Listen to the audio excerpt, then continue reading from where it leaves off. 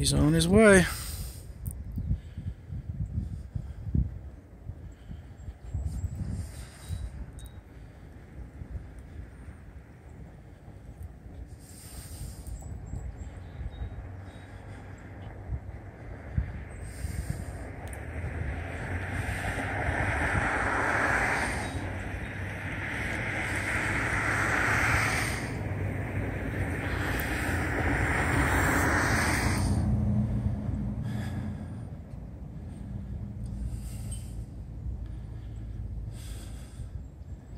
Seems to be going pretty slow.